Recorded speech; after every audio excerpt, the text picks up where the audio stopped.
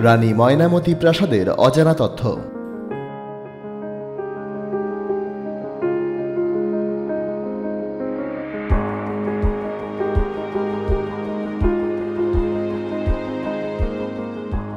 কুমিল্লার বুড়িচং উপজেলার ময়নামতি ইউনিয়নের সাহেববাজার এলাকায় রানী ময়নামতি প্রাসাদ ও মন্দির অবস্থিত।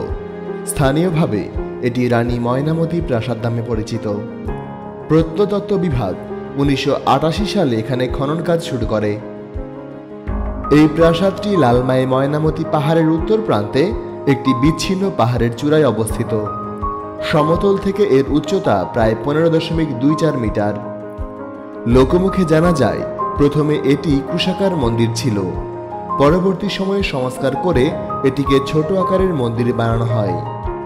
খনন করার সময় এখানে বেশ কিছু পোড়ামাটির ফলক এবং অলঙ্কৃত ইট আবিষ্কৃত হয়েছে।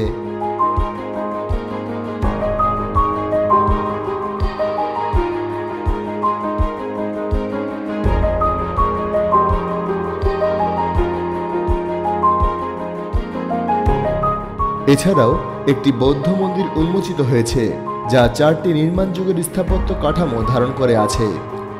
বিশ্লেষকরা ধারণা করেন, এই প্রাসাদটি অষ্টম থেকে বারো শতকের প্রাচীন কীর্তি।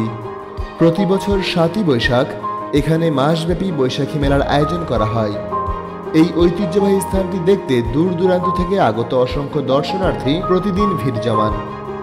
ময়নামতি প্রাসাদের সুপ্রাচীন ঐতিহ্য রক্ষা করা সুনাগরিক হিসেবে কুমিল্লাবাসীর দায়িত্ব।